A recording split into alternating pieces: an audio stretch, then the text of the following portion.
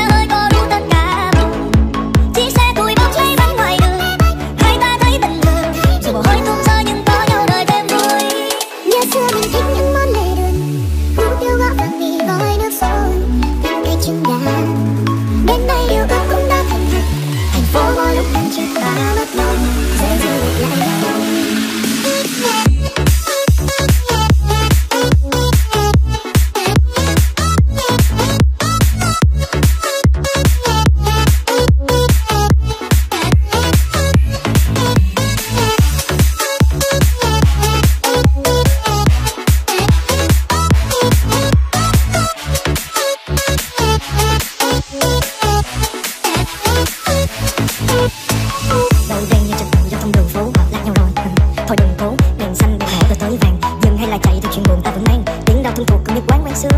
Mỗi lần nghe thấy lòng như cắt như cưa.